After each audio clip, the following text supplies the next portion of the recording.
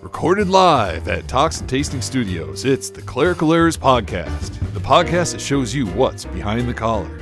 Let's go. From the Talks and Tasting Studios, this is the Clerical Errors Podcast, the podcast that shows you. What's behind the collar? This is Bullhagen. This is Berg. And this is Vicar. Peter's here. Hey, Pete. Welcome to the show. How's everybody doing? Monday. We Oh, were being recording, I'm doing good. recording on Monday, although this is coming out on a Sunday.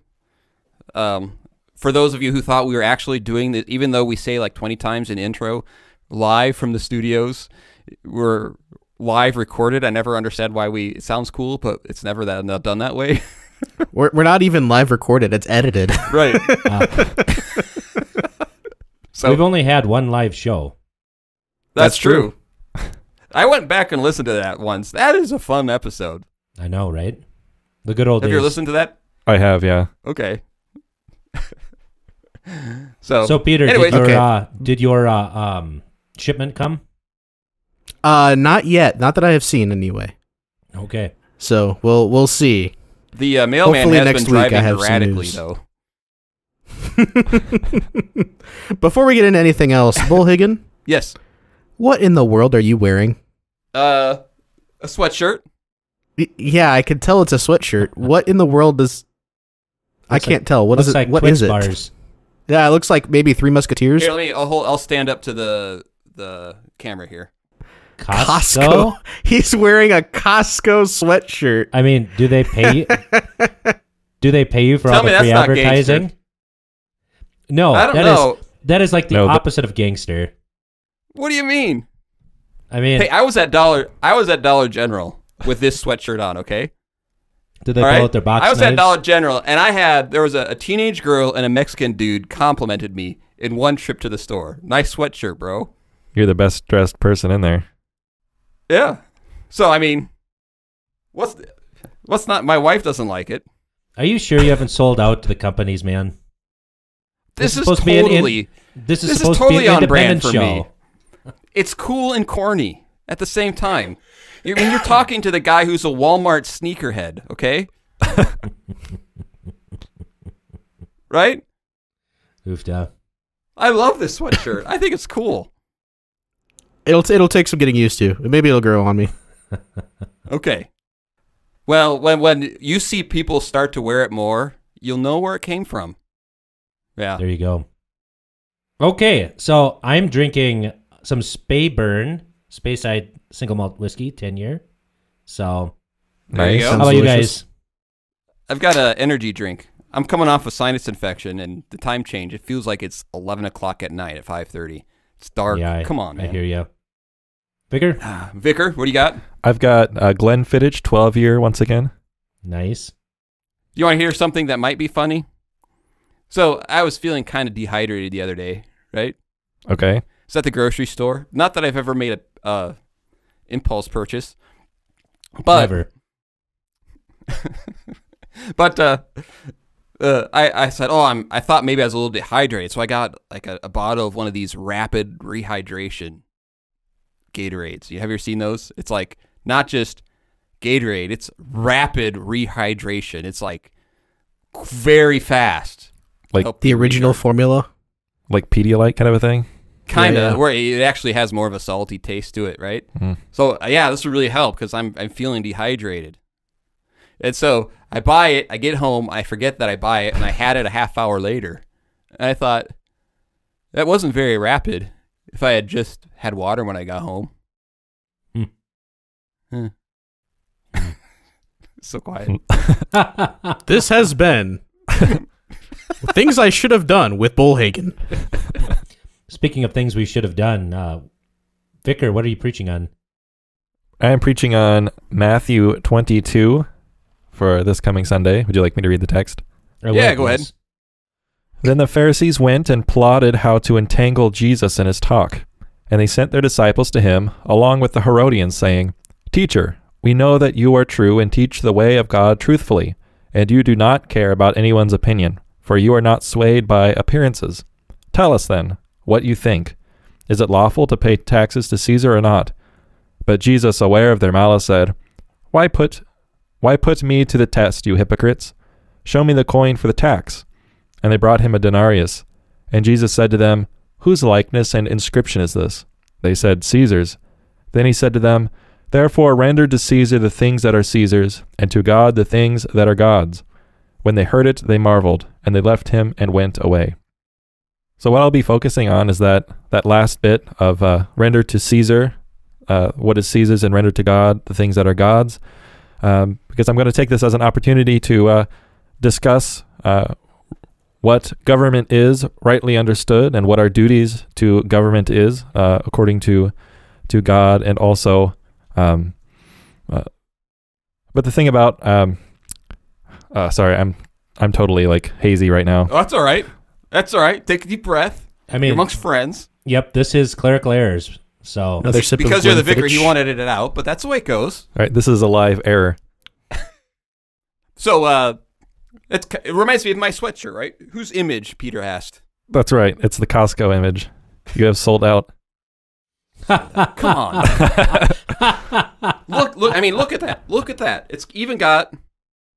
It's yeah. It's It's Uh, got the Costco in stitch tag on the sleeve. I almost said hand stitched, but there's no way that was hand stitched. Yeah, Han Wu sewed it. All right. It's an original. So, uh, Berg, get, help Vicar out here. Yeah, I mean, I think that's a great thing. Like, so what kind of things do we owe to Caesar? And we find some of these things like in Romans 13, for example. We owe Caesar honor, we owe Caesar taxes, we owe Caesar respect or honor, that kind of stuff, right? We Yeah, hear about exactly. that from other uh, passages of Scripture. Jesus here says in a very short way what uh, is explicated at greater length uh, elsewhere. Um, I think you know. Okay, and then what do we owe God? We owe God faith, fidelity. Um, we owe Him uh, trust, fear, love, etc., etc. Right? Um, Because yeah. whose image were we created to bear? God's. there you go. So you know, here you can talk about the temporal realm, and you can talk about the spiritual realm. I think it's interesting to think about. Okay, what does Caesar, in return, owe his subjects? Hmm. Well, Because yeah, the Bible, I would- act, I, I mean, you know, this is the thing: is Jesus says, "Render to Caesar what is Caesar, and to God what is God's." Um, Caesar also owes things not only to God because he's still God's servant, and so what does Caesar owe God? Same thing we do: fear, love, and trust. Because But- when when uh, when God creates order to things, when He creates order, He also creates the order of responsibility. So, for example, uh, when Paul talks about marriage, and and wives be submissive to your husbands, but he then says, husbands love your wives. The great responsibility in that uh, created order of marriage is on the husband. It comes with responsibility and and doing it well and care and concern and protection all those things that uh, nobody wants from men anymore um, but uh, is that was that what you're kind of thinking there berg Yeah, I mean, it's similar, right? Because all government flows from from the family, as our confessions say, the large catechism on the fourth commandment. Uh, I was thinking also that uh, Psalm 82 would be a good reference as well, where God says to the rulers, You are gods, and you are all children of the Most High, but you shall die like men and fall like one of the princes. Why does God have such a harsh judgment against rulers who bear this godlike power of bearing the sword? Well, uh, he says it in verse 2 How long will you judge unjustly and show partiality to the wicked?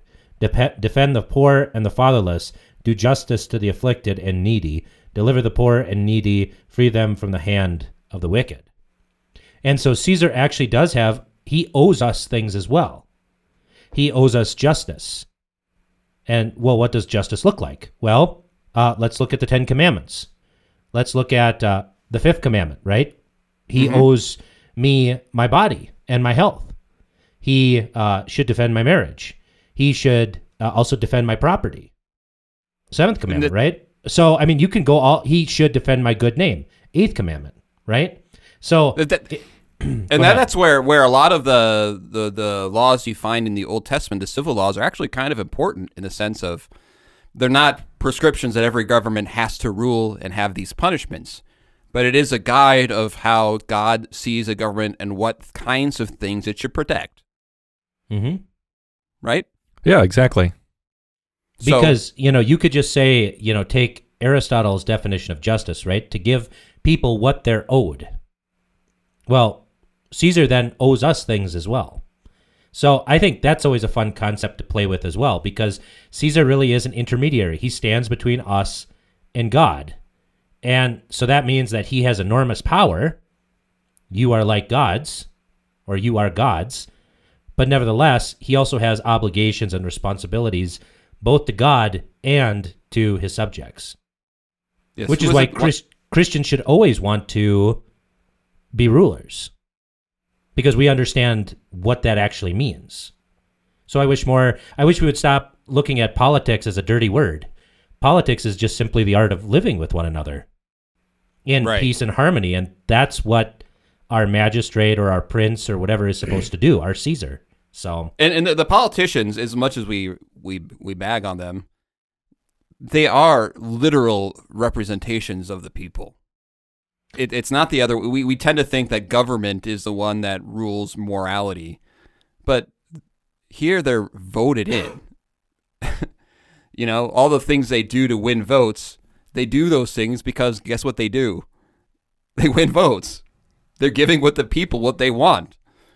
And as much as we rag on them, well, somehow they get 50% of the vote. You know, like the upcoming election we will have in our country. It sounds like it's going to wind up for the president being uh, who who feels like they're uh, that they're uh, great candidates. How many people feel confident about that? Uh, Yeah. And that's the thing is sometimes because we are able to elect our leaders, we also forget that they're not just representatives of the people's will, which can be bad. I mean, every time the people do stuff in the Bible, it, it's never really a good thing. Like, for example, in Judges, when Abimelech, uh, you know, stirs up the people of Shechem, what do they do? They elect him king and then they kill all of Gideon's other sons. There's Right. democracy at work. or That that would be a great T-shirt, wouldn't it? Like, uh, uh, let the majority rule, and then like show uh, bones in the wilderness. yeah, The exactly. Or um, here's an, here's another one. Look at what happens when the people say to Samuel, "Give us a king." That doesn't turn out so All good for them Yeah. either. Right. Or when uh, the people pressure Pilate to to deliver Jesus over to crucifixion. So, you know, there's a dark side to democracy. There's there is such a thing mm-hmm. as mob rule, mob rule, and sometimes the the will of the majority is an evil will. And that's not what we owe God. That's not what we owe our rulers, and that's not what our rulers owe us either. And by the way, wouldn't you say this, Berg? This was a thought I had. Analyze this, see if I'm thinking clearly. It seems like the church's doctrine has always been a little bit straighter when we're the minority. Okay, explain that a little bit more. Okay, so like at the like you look at the time of the Reformation, right when everyone was the same. Uh, what was the doctrine like? that before Luther, it- it was kind of bad. Yeah, all over Mhm. the place. Yep. that there is a purifying nature to the tribulations placed by the majority on the minority that in a sense kills off all the false doctrines that aren't worth dying for Mm-hmm. so i'll give you an example uh, when you had uh, communist communism fall and uh, and the christians came out of their hiding place uh, I remember talking to a bishop from Lithuania who was completely dumbfounded.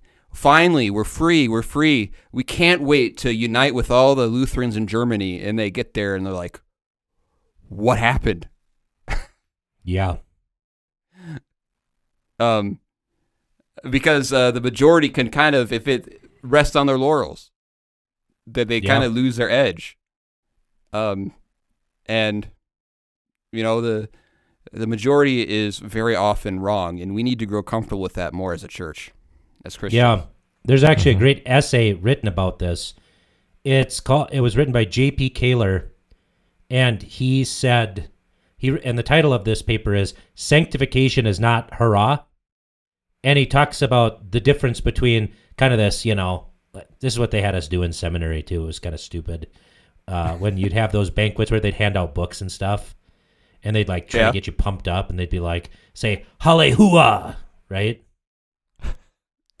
Vi- Vicar knows what I'm talking about. I know Right. what you're talking about. When I went to seminary, it was a simpler time. I think we just learned that last last episode. So, but his whole point here is that a hurrah spirit is not only fleshy, right? It's something like you grunt when you're lifting weights, or you're like, ugh, right? When you're lifting. yeah, it depends on how Um, many people are there. The more people, right. the louder. of course. Or even if you're, you know, putting up a barn, you know, one, two, three, and then everybody, you know, grunts and heaves, right? It's it's an animalistic, fleshy thing, which already makes it suspect. The second thing is is that the hurrah spirit really loves crowds uh, because people can get swept up in this ocean of emotion, and it really doesn't. It, it really looks down on the individual because the individual might need some more convincing. You see this in a lot of propaganda, for example, where, uh, well, I mean, you can look around. The best propaganda is when all of these people are together, whether it's at the football stadium or Nazi Germany, it's really kind of the same thing. You have so many people there to, to make the individual seem insignificant because you're going to follow the crowds. And times that's- twelve with the internet. exactly. And so um, the individual, which Jesus and the Holy Spirit care about, because God only works through individuals, uh, that's obliterated by this sort of hurrah spirit. And the second thing is, is like, you know, it's kind of like going out and playing football. Yeah, we're gonna do this, crush our enemies, blah blah blah. You extinguish love. Um, things are not thought out. It's not thoughtful work or thorough work or quiet work. It's just really noisy and emotional and not very good. So I really recommend that everybody goes and reads that ep- that essay because it I think it's a, a great way to see what some Christian churches do rather than mm-hmm. you know resting on the sanctification that the Holy Spirit gives. It rests on this sort of hurrah spirit, you know, getting people caught up in this wave of temporal emotion that really just ultimately ends up hurting us. It happens in Especially- politics especially- or anything, you know. Right. Well, there, there's and the, especially the aspect in, in some places where, in a sense, that's used as proof of the Holy Spirit or God Right. working. So, and people are just susceptible to this. Are you sure you're not just salty about the "Let's Go" discussion? Always salty about that. I had a rapid I had a rapid hydration packet, so I'm kind of salty. All right. So, yes, I I, think that's I have a feeling the uh, the the hurrah spirit gives you the opportunity to maybe rapidly dehydrate. ah, there you go. All right, Peter, should we move on? Yeah, let's go. Let's All go. Let's go. All let's go, right, team. You got So- me fired up now, Bird. Let's finish the uh, top twelve. Yes. Peter, play the intro. Enough nonsense. It's time for Bullhagen's Top 12. All right. Way to show that hoorah spirit. Huh. Um, so we're gonna finish up the the last few of the top twelve for Luther's third Invocavit sermon on images. Here we go. Number 4. Therefore, it should have been preached that images were nothing and that no service is done to God by erecting them. Then they would have fallen of themselves. That is what I did. That is what Paul did in Athens when he went into their churches and saw all their idols. He did not strike at any of them, but stood in the marketplace and said, You men of Athens, you are all idolatrous. Acts 17, verses 16 and 22. So, um, I actually heard a really great paper on this by Thomas Fleming. He wrote a paper called The View from Mars Hill Love and Hate in the Cities of Man. You can find it on his website, uh, the Fleming Foundation. And so I, uh, I took a quote from his paper and I want to read it just to give a little bit more input into, you know, you men of Athens, you are all idolatrous, okay? Mm-hmm. Okay. The opening of the speech is generally translated as Men of Athens, I observe or regard you as rather superstitious. This seems an inauspicious opening. Of course, in the later Christian contexts, uh, daimon is usually applied to non Christians and means something like superstitious or believing in a false religion. And pagans occasionally applied the word in this sense to Jews and Christians. But in classical and Hellenistic Greece, the word is typically used in the positive sense as of someone who fears divine power and is therefore pious or religiously observant. Unless Paul was looking to be flogged, he and his hearers must have taken Daemon in its original positive sense. So I think that also helps the reading of Acts 17, 16, and 22. That, you know, here Paul is actually saying to them, look, you guys are religiously observant. You're pious.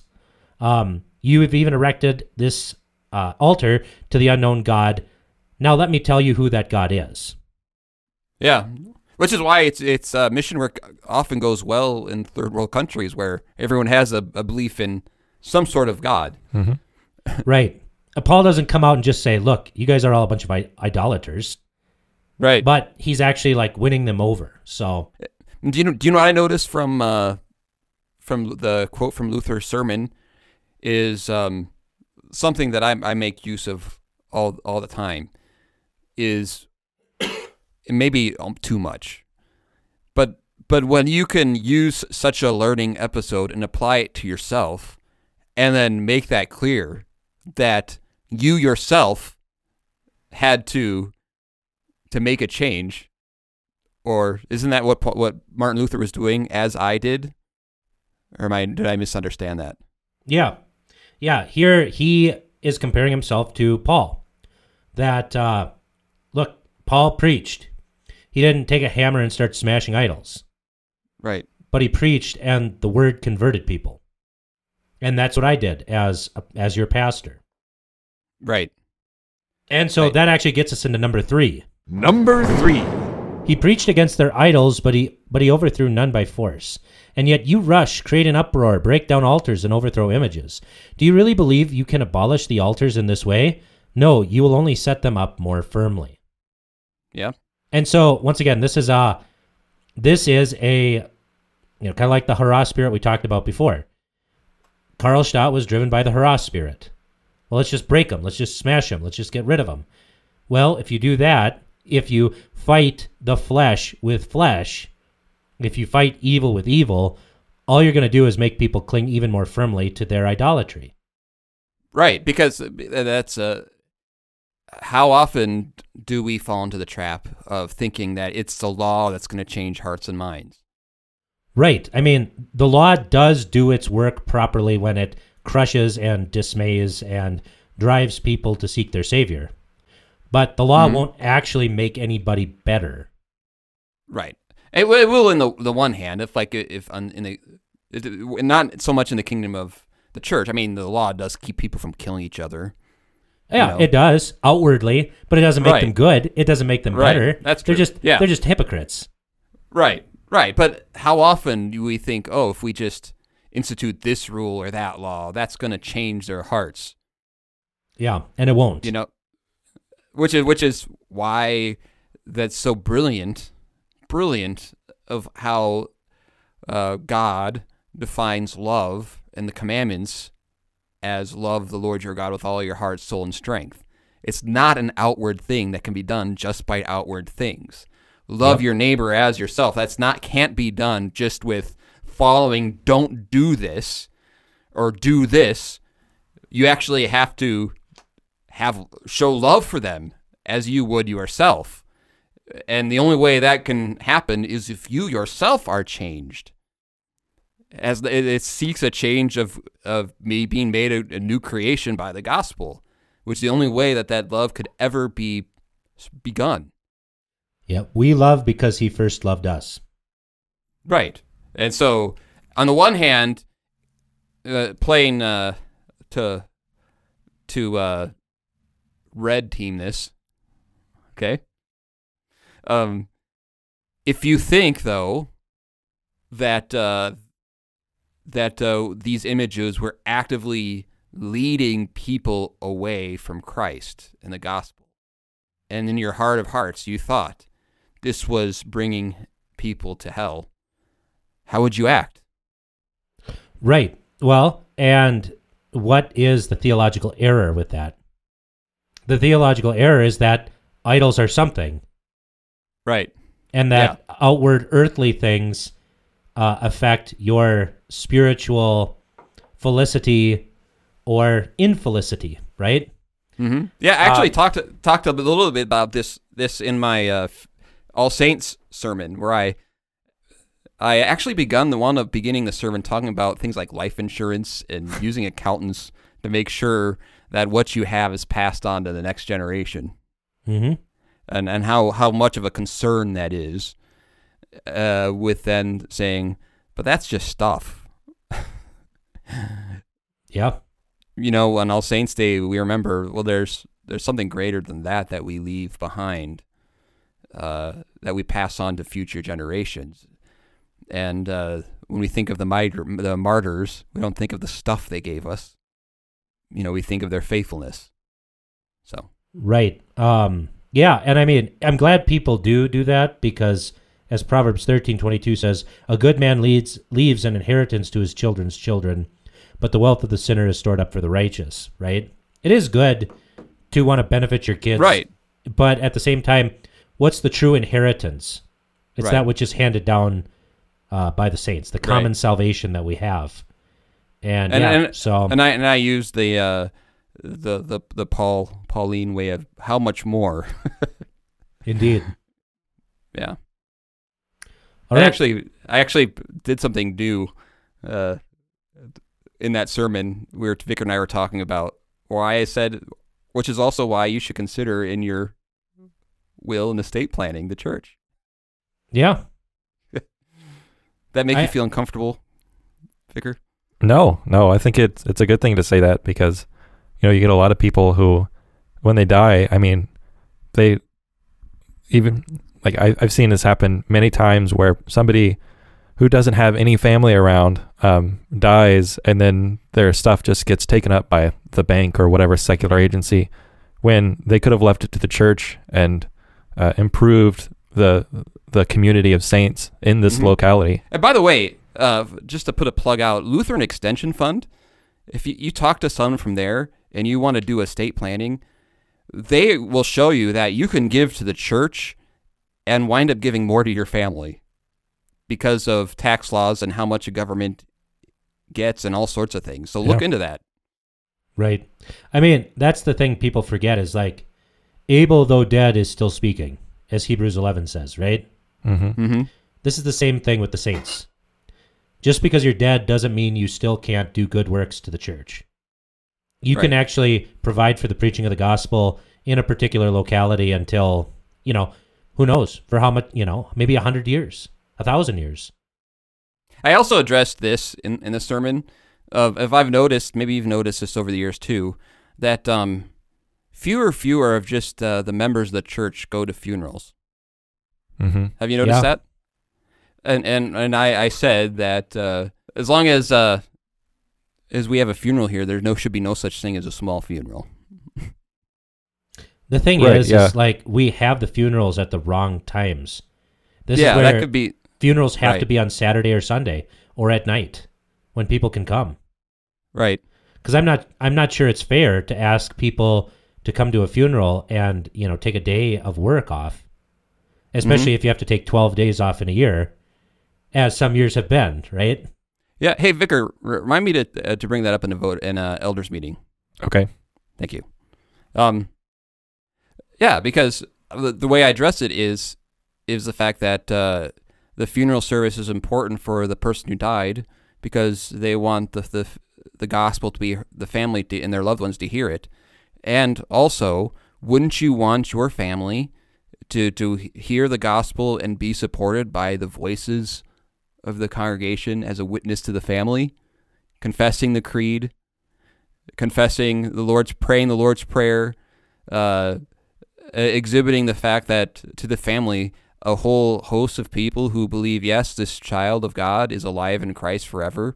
Isn't that what you would want for your children, your grandchildren, your great grandchildren? And if taking the Jesus teaching to love your neighbor as yourself, I think it is an important thing for us to seek to go to those funerals in that setting. Indeed. Number two. Even if you overthrew the images in this place, do you think you have overthrown those in Nuremberg and the rest of the world? Not at all. St. Paul, as we read in the book of Acts, chapter 28, verse 11, sat in a ship on whose prow were painted or carved the twin brothers, that is, Castor and Pollux. He went on board and did not bother about them at all, neither did he break them off. Why must Luke describe the twins at this point? So that's the thing. Even if they would succeed in destroying all the images in one place, there's still a whole world full of idols. How are you going to destroy them all? Paul sure didn't. Right. He even boarded a ship that had uh, Castor and Pollux on it, and uh, and he didn't break them off. Unlike some uh, English Puritans, who were so obnoxious that they did. Uh, Boom, So- Puritans. so that's the thing is like force will never destroy every image, and that's the whole point. All right, and that brings us to And number one. Outward things could do no harm to faith, if only the heart does not cleave to them or put its trust in them. This is what we must preach and teach, and let the word alone do the work, as I have said before. The word must first capture the hearts of men and enlighten them. We will not be the ones who will do it. Therefore, the apostles magnified their ministry, their ministerium, Romans 11:13, and not its effect, its executio. So there are two points here, right? We've talked about this from Romans 14, the whole, Mhm. uh, you know, uh, Bud Light boycott, right? Outward things can do no harm to faith if only the heart does not cleave to them or put its trust in them. The second thing here is that it also reminds us too that what actually changes hearts it is the word. The apostles magnified their ministry, not its effect. And I think that's the thing that a lot of pastors have a lot of have a hard time with is that they're looking for the effect, but they don't actually Right. take joy in their ministry. That it's not we who do this. It is the Holy Spirit through the word. And that we actually have to trust that the word works as Jesus says it does, as the Holy Spirit has shown that it does. But Right. that might take some time Right. and we might not see the fruits that we want to see. Right. I yeah, I think uh yeah, I think sometimes we can get that backwards where where we think, well, all these practices I want to start is what's going to change a heart and mind, not the heart and mind being changed and seeing the desire for those practices. Does that make any sense? So, for example, um, Hannah, I don't know if we, well, I don't know if we have time to address this today, but we will at some point. A- asks a question about head covering. Hmm. Okay. Uh, the question is, are, are you? I would ask, are you doing hever- head covering so that it produces a change, or are you doing a head covering that represents a change of the heart from the beginning? You see the difference? Mm-hmm. Is it the image of the head covering, or is it the heart? So- It's kind of like the first three commandments, right? Mm-hmm. First commandment deals with the heart, and then the second commandment deals with the tongue, and the third commandment really deals with the body. Mm-hmm. And that's the progression. That's the way it has to go. Right. And so our rights and our actions should reflect the faith that we possess. Right. So, All right. Good discussion. Um, and a great top 12 list. Yeah. Yeah. Someday I'll write a top 12, 12 list with so much thought that it's going to take three episodes to get through it. there we go. Because I think the last top 12 list I did, what, in two minutes? Poor Vicar. Yeah. Because for some reason, people like the angry Bullhagen. I don't know. I don't know. It's all that novelty. All right, we have uh Berg is on a roll. You are have been on a uh, a creative tear for the show, Berg. I want to compliment you on that. We do what so we can. uh uh we have a confound the clerics. Peter, play the intro. Confound the clerics. So uh Berg, you had saw something on uh, Facebook posted by uh, the podcast mom. Yeah. So she sent me a text message, and she said here, "I know I could slash should send an email, but texting you is much more dot dot dot satisfyingly reciprocal." 100% fair enough. I want to be clear. Everybody has that email. It's not just me.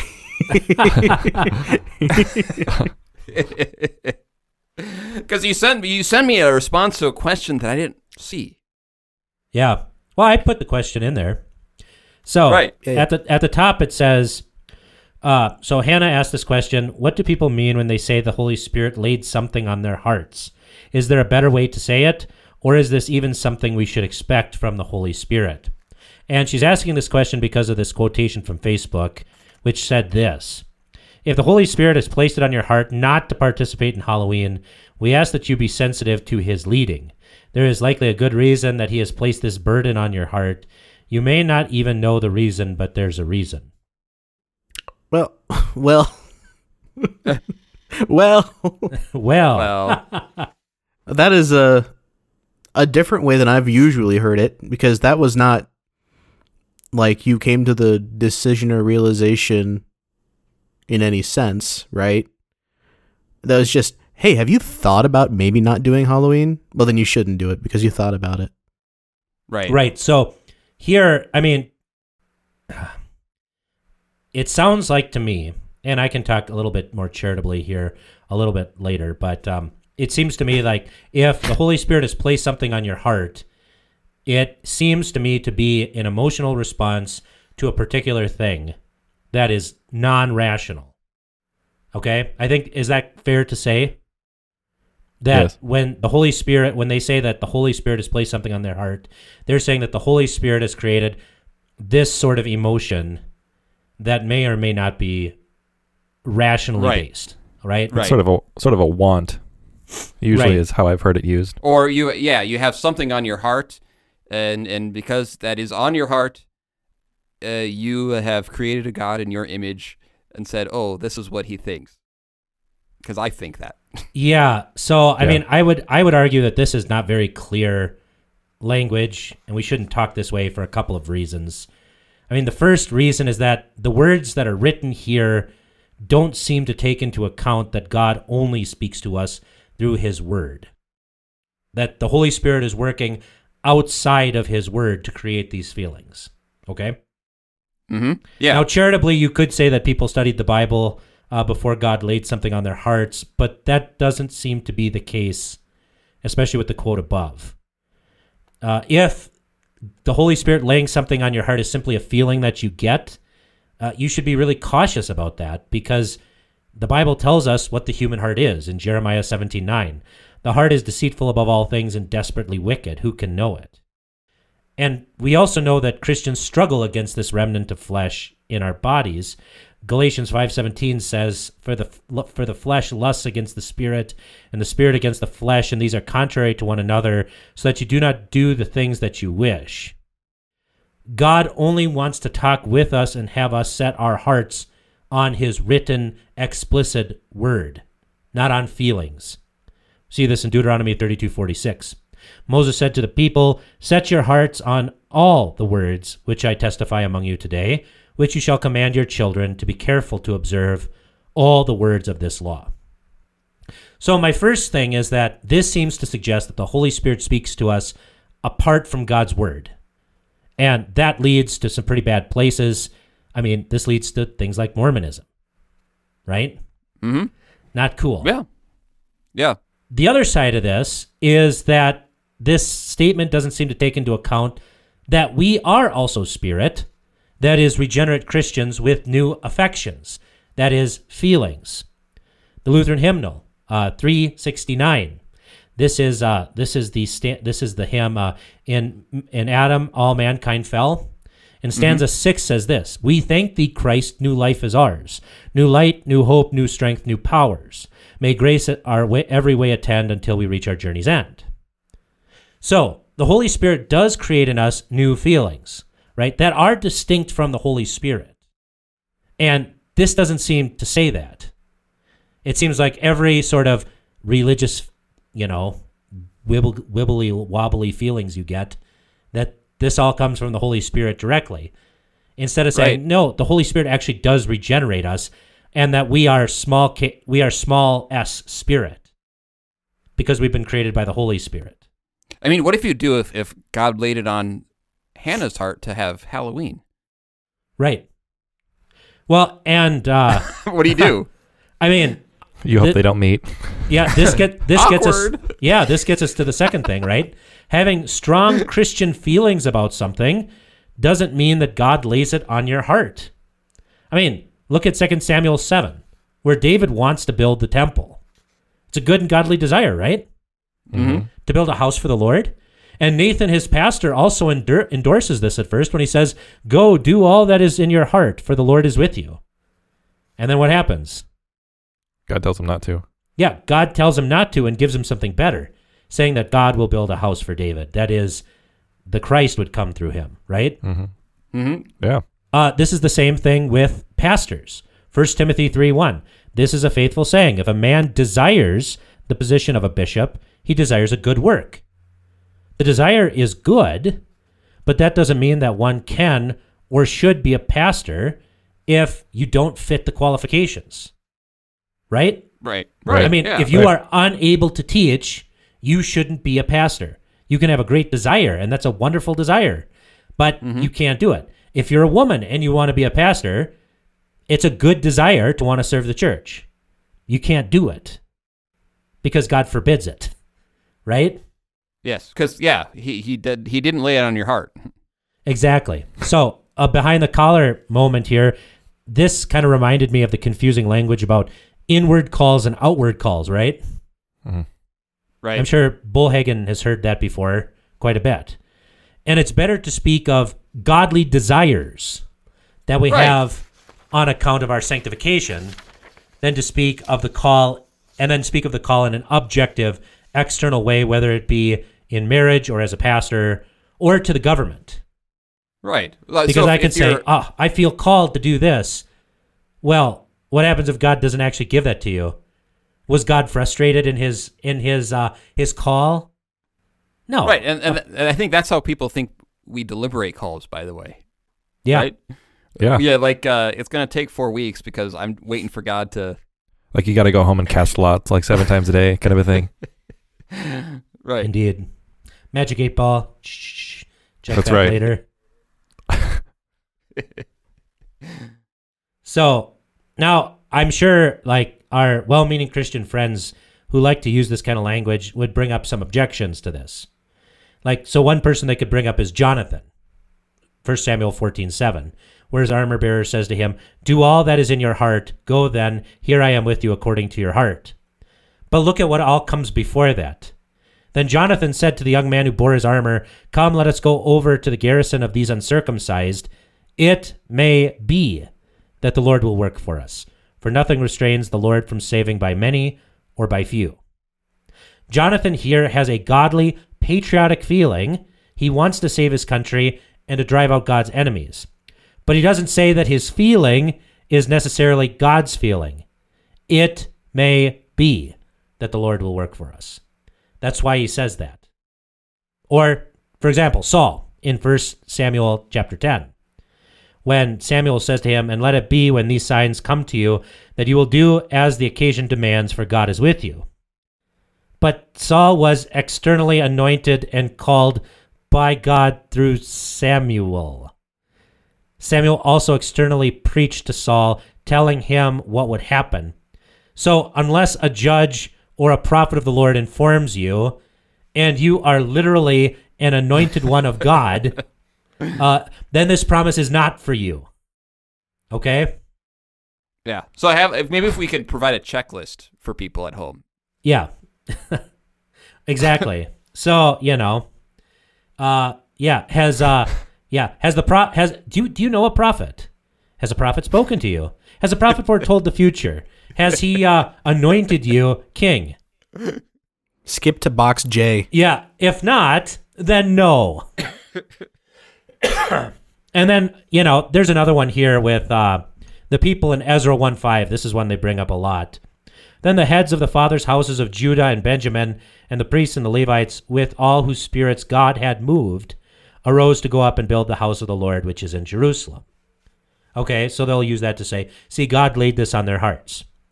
But this godly emotion was based on certain explicit verbal promises that God made through Jeremiah in at least three places. Jeremiah 30, verse 3, Jeremiah 30, verse 10, and Jeremiah 46, verse 27. So they had an explicit promise to do this. Okay? Right. So, um, what are the applications here? Well, goes back to Romans 14 14, where Paul says, I know and am convinced by the Lord Jesus that there is nothing unclean of itself, but to him who considers anything to be unclean, to him it is unclean. And so Hannah's question really has to do with the conscience. Nothing is unclean in itself, even Halloween. It is not demonic. It has been a Christian holiday for 1300 odd years. And there's been com- considerable debate among scholars on whether all the on whether all saints replaced the the Celtic holiday Samhain. Now there was a day for propitiating the vengeful dead in the Roman calendar, but this festival called Lemuria was held on May 13th, not on November 1st. So all I got to say about this is gut feelings are about things are worth listening to. Uh, we moderns don't often listen to our guts enough. Remember, we Christians do actually have new and godly emotions, affections, powers, and the like. If something doesn't seem right, then it might be wrong. We've almost gotten two sided on the intellectual stuff. But gut feelings aren't always right. Ignorance, like in Romans 14, actually hurts the conscience and makes things not free, which God has made free in Jesus Christ. So, in order to find out if our gut feeling is actually spiritual, that is, from the Holy Spirit and from His Word, then we must actually do our homework. We must actually diligently search the Scriptures. We don't just go off of gut instincts. We should listen to those instincts, that's true, but we should also see if our emotions and thoughts line up with God's Word. While we are sanctified, we have not yet achieved perfection. That, So- so, that, that does that doesn't mean so what you're saying is part of this is it doesn't mean that God doesn't lay things on your heart, right? Right, but you can't say for certain that God has because He hasn't told us explicitly in Scripture that He Right. has done that. So, for example, right, uh, when uh, what what Lee we talking about uh, going becoming a pastor, right? hmm Right. God gave you the skill, the desire to do those things, right? It's not like He didn't give you all of that so that you would be a pastor for, right? Right. Yeah. Well, I think one piece of wisdom that I was given that I think is applicable here is uh, somebody, one of the one of the professors once told me that um, you know you have that desire to come to seminary, but if you uh, sort of stamp it down and just keep going throughout the years, if you know 15 years later you still have that want and that desire, um, it it probably was God calling you to the office. Um, but you can't just on a whim say, "Hey, God's giving me that call," even though you're just just a lay person. I don't know. Maybe you need to cut some of that out, but I don't know if that was too far. Well, and Not I going even, out now. I mean, I I look at it too from the perspective of marriage. So I remember uh, this happened a few. This happened a number of years ago, and I was uh, talking to a dad whose daughter uh, wanted to. She was convinced that God had laid it on her heart that she was supposed to marry this guy, Mm. even though they had never talked and he wasn't really interested. Yeah, I, I know of a similar instance where somebody lived his life by casting lots for things. Um, and so he cast lots on whether or not to marry this girl. And, uh, well, the lot went in favor, in his favor of yes. And so he drove up there to try to marry her and it did not work out very well for him, um, in multiple aspects. Hmm. So and and that's the thing. It's like Well, that's what, that's what Julie did. I you, you She cast lots for you? no, she Oh. she told her before we even dated. She told her mom she was going to marry me, Oh, okay. and that's Yeah. what that's what's my line to that, Peter. That's what made her different than every other girl. she was right. ha. well, and that's the thing is we have to trust in these external calls, right? You're not married till you're actually married. You're Right, not a right. pastor until you receive a call. Right. Right. And I through the that- through a, like a voters meeting, at least here, uh, you know, not that I mean that is our that is the way we have things set up, right? right. That right. if, you know, we call through congregations and the like, and that is God calling. God does not call you until that point. It's a godly desire. You want to serve the church. It's a good thing, right? It's a good thing to want good things. hmm But just like David, that might not be for you. Right. You might This want is- to build the house of the Lord, but maybe that's not your task. That's that's what we isn't that coveting, desiring something God has not given you. Right. And think about when these things fail. So this guy who cast lots and went up to marry this chick and uh, she refused him. Uh, well, was God wrong? Did No. he just cast the, the lots wrong? I I mean, what it what it does is it, it actually defames God, because as Yeah. we talked about in an earlier episode, um, you know, marriage is one of those things that is actually left up to our freedom, just like occupations. Mhm. Peter could have Yeah. chosen to gone to the seminary. He chose something different, and that was in that was in the purview of his freedom, right? Don't we have a whole article on this in the Augsburg Confession? Mhm. Right. Vicar, what is it? Do you remember? Uh, not off the top of my head. Was it Article Is it 18, one of the right? teens? Is it Article 18? I think it's Article 18. Uh, I think Let's you might it. be right. Let's see if I'm right. I know it's in the teens. I don't remember where though. Okay. I like how you ask Vicar and not Bullhagen. I'm not the vicar. I should know this. I'm bringing back the Vicar app. I know what it is. Should- I'm just letting them figure it out, Peter. Yeah, yeah. Uh huh. I see if, if God laid it on their heart correctly. uh, let's see here. Article 18. Yeah. You Of got it. will. So, Hey, I'm gonna say something that's gonna drive you. Since we're talking about numbers, Berg, I'm gonna say something that's gonna make you laugh. okay. So I helped out, out at auditions for Allstate at the high school. Okay. Like it. So when you talk about Allstate auditions, right? They're the brightest of the bright. Pretty much, right? Like the be- better musicians tend to be better. Maybe not in Vicar's case, he's a musician, but usually the better uh, musicians tend to be better students as well. I'm just kidding. I, I don't know if I'd agree with that, but sure. Yeah, go ahead. And so they they are supposed to report audition at site numbers. And they Mm. put the site numbers in Roman numerals. Nice. And everyone kept on walking by just confused. Do you know where site 7 is? Look for a VII. Okay. Thank you. Any musician should know that.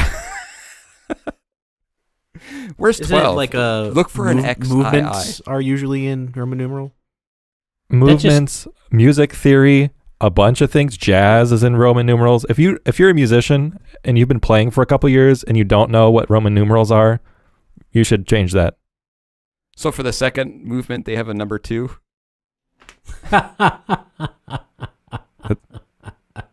This has been bad jokes with Bullhagen. It, it's it's a movement, that's for sure. All right. Ba-doom. All right, so um, thank Eight you minutes. for that question. Now, one thing we're we're we're toying with the, the idea of a new segment, right? Uh, which is called red teaming, which I I ha- don't really hadn't heard before, and so I'm going to ask uh, Berg to explain re- red teaming for us. All right. So red teaming actually started during the Napoleonic War when the uh, Prussians lost to Napoleon.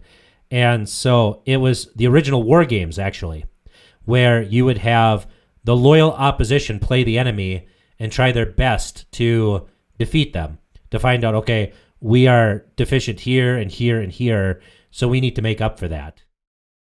And so red And actually- nowadays, oh, go ahead. nowadays in the IT world, it's uh, very similar to that. You have the good guys try and hack into you so they can tell you, "Oh, this is how we got you. This is what you need to fix." Right. All right. So um, the idea was to to have this on the podcast. I'm not sure if this is going to work. So uh, I was thinking maybe we could kind of red team uh, so if I just picked a random topic, Berg, of potlucks. So how would we like if we wanted to red team potlucks? How would we do that? Okay. Um, Potlucks. yeah, yeah. Is that the worst idea ever? Um. So, so one thing would be is uh, you can. Well, I'm sure you can do it a couple different ways. One way you could do it is you talk about uh what you think it is, and then I try to shoot it down. We could also go the other way, the more the the disputation way, like what Thomas Aquinas did, and start with. It seems that we shouldn't have potlucks because of X and Y and Z. And then you give your real answer after you've been charitable in putting forward all of the objections. And then you answer the objections af- underneath. Oh, I don't like either of those. I just want to fight. So! All right. So, uh, I think well, there's well- four of us. We put we put two two on a team. all right. One is on the green team. We decide which one is the green team and the red team, I suppose. All right. Which which one is well, is obviously, I want Peter on my team, right? okay. Because because Peter knows all my vulnerabilities. Well, I'm better on the red team though. All right. Can we be red team? Can Peter and I be red team? All right. You can be red team. Okay. All right. So they have to. Uh, you're going to be side potluck. Pro potluck, if you will. Yep. Pro potluck. yeah, yeah. Red pro red team is anti potluck, I think, because yes, we're, we're going to be. we generally agree that potlucks are good. I think. Yes. Is that correct?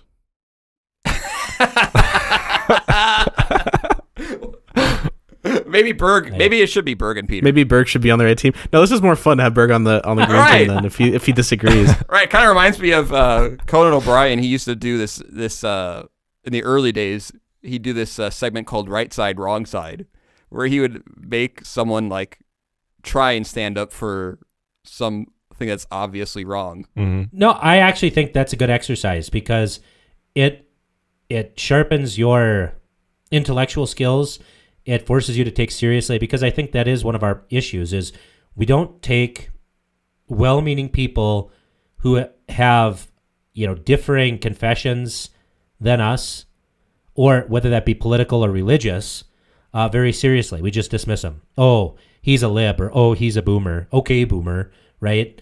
And Right. I think we need more of this in this world where we defend positions that we may actually find objectionable to make our own argument stronger.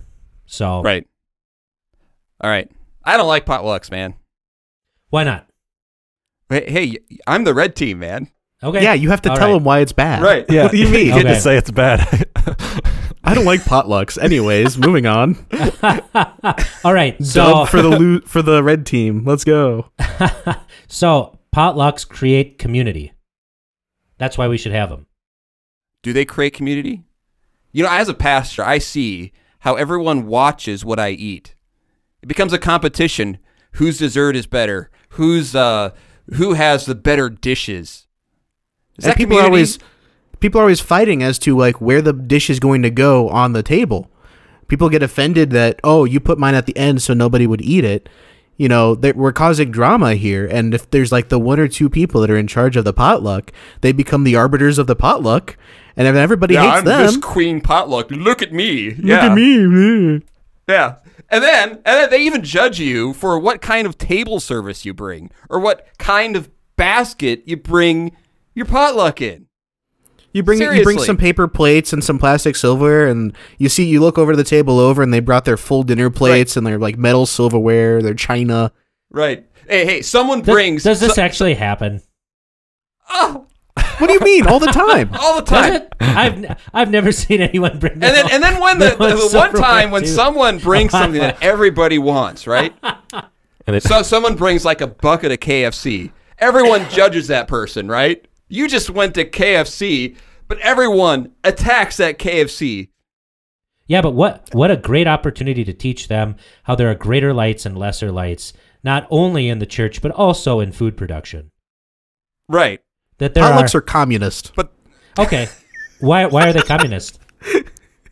It's socialism, man. Okay, It's So- it's so it's we are pooling, forcing- it's pooling food together. so we are forcing people to to bring food. I thought this Absolutely. was vol- I thought this was So- volunteerism. So I mean, it's having, volunteerism, but everybody has to bring something. So having somebody freely sign up to bring whatever they want to a potluck is communism. Are you saying that the people who don't bring anything don't get judged? Oh, they get judged. Oh. Right? Or if they just bring something small, Well- like uh, come on now, have you ever like gone to a potluck and you see a a, a, a tub of cottage cheese just sitting there? And you're just like, well, they, they put in the effort today, huh? Right. Like they went to the store and they bought cottage cheese. Right. Or you and then put the everyone commandment on it and say they're just keto. Right. And they they admire the person who stayed home from church to bake the lasagna. Yeah, I mean, come on. That's not community. it becomes a it actually in a way it, it's They're almost just- like be, The becoming potluck a just god. uh, the the potlucks just replicate Acts chapter two, where they held everything in common. And what does Peter say to An- Ananias and Sapphira? Uh, couldn't you keep what was yours? Well, I think you're there, conflating not, table uh, fellowship. right? With the Isn't that more about uh, devoting themselves to the apostles' teaching, the fellowship, to prayer, and the breaking no, bread? It literally says they held everything in common, and they went and sold their fields. Barnabas is one Have you of them. spoken to Arthur Just about this? so, another thing is like, like you say, people say, "I laid my heart to bring this food," right? But then it gives you heartburn. well, it's yeah, just, it's just what, it- mortification of the flesh. Sounds Yeah, like a good I- thing to me. yeah, I mean, it's just like what the pro- what happened uh, what to the prophet Ezekiel, where he gave him the scroll and he ate it, and it was like honey in his mouth, but in his belly it was it was very bitter. Besides, it's just for us. I mean, if we really wanted to do something helpful, we invite uh, the homeless, the hungry, the people who really need food. Aren't they Please invited to church every to our- Sunday? I Do don't think those the- two things are mutually exclusive, though. Yeah, do I you mean, lock the doors? there are plenty of when you start churches that do. There are plenty of churches that do soup kitchens and potlucks. I haven't seen them. Uh, I haven't. I have. have you gone to one? Was it your church?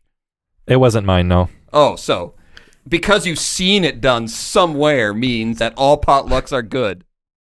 I'm just giving you examples. Not all potlucks. Right. Not all potlucks. Kind of Besides, like I've I've never seen anyone The- just bring a tub of cottage cheese to a potluck. Or What do you mean? It happens every time. Who does that? oh, come on. Where Besides, the word live? the word luck is in the name, right? It's like good luck, bro. I know Or- what you're doing this afternoon. That's pretty diminutive to. Or it could come from glücklich, the German which means happy or felicitous. Yeah, Luke leak sounds like something that comes out of your mouth. So, yes, rapid dehydration. All right. So, if you like this, This is argument, so stupid. We needed. We, okay, yeah. If you- so if you like this, arg- the the listener needs to give us something better to argue about, Right. Because this was really bad. this is r- amazingly clerical errors bad. By the way, we're not judging you if you bring cottage cheese. You, you Yes. do you. Right. Right, Hey. right. And by the way, I kind of like potlucks, even though I can't eat any of it anymore. hey, next potluck, throw everybody for a loop and bring a drink. Mm. Bring some dude, you should or try something. some. Uh, can't you try like keto pickles? Like keto fried pickles? They're really good. A little bit of Can't have wheat. Fried pickles? Oh no, there's no wheat in it. My wife can eat them. in, in fried pickles. Keto fried pickles. So she uses like an almond flour, a little bit of egg, and a little. You Can't bit have of, nuts uh, either. Oh, he can't. What? Oh, nuts. Ah, nuts. now he's sad.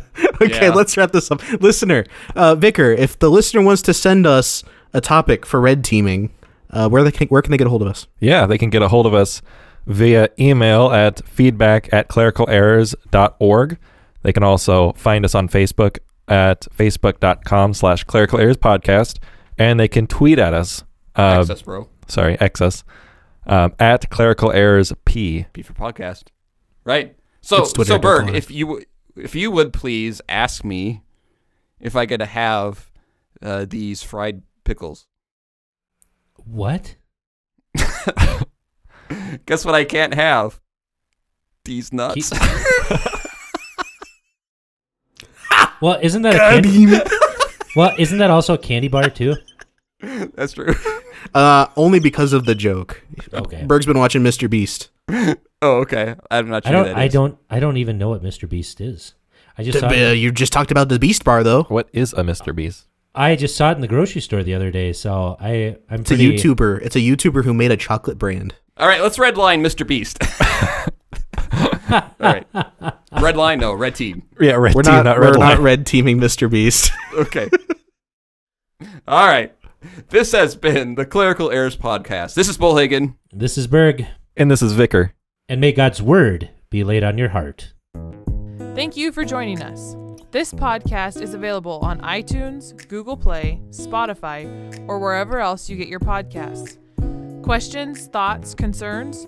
You can contact us on Facebook at facebook.com slash clerical errors podcast, on Twitter at clerical errors p for podcast, or email us at feedback at clericalerrors.org. Thanks for listening to Clerical Errors. See you next time.